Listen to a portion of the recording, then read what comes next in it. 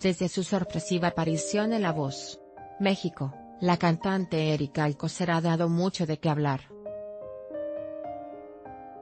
Al hacer girar la silla de los coaches, la intérprete no optó por elegir a Carlos Rivera lo que fue visto por muchos como un desaire. Como recordaremos, Erika Alcocer fue la ganadora de la segunda temporada de la Academia, mientras que Carlos Rivera, fue el vencedor de la tercera temporada.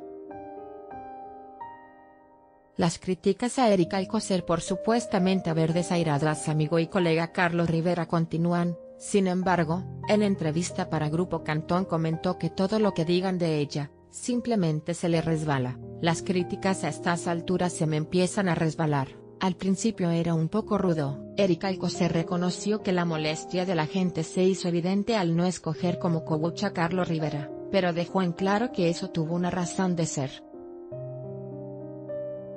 La gente no lo entiende, pero no había otra. No lo escogí porque yo lo consideraba antitético, creo que lo iba a poner en un apriete emocional a él y yo también, y de todas maneras me iban a criticar, y si me iba con él iban a decir que me apoya porque éramos amigos. En esta nota, La Voz. México Erika Alcocer Carlos Rivera.